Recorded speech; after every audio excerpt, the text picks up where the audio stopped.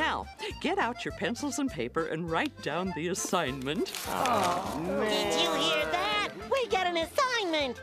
Everyone must write an essay on what not to do at a stoplight. Oh! Did you hear that? What not to do at a stoplight. In no less than 800 words. Oh! Did you hear that? 800 words!